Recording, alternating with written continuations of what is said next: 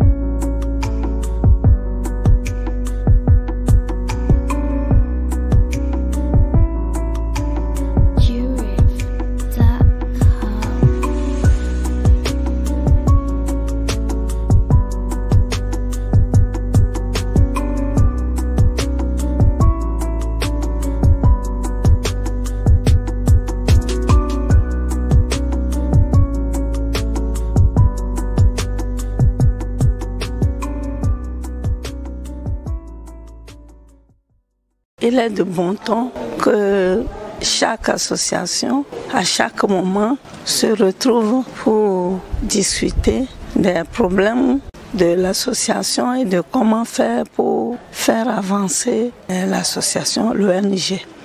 C'est pourquoi cette occasion que nous venons de faire, ce conseil que nous venons de tenir, me réjouit beaucoup pour l'avancement de l'ONG. Nous avons parlé des activités précédentes et de, des, des perspectives d'avenir, de ce qu'il faut faire pour l'avenir.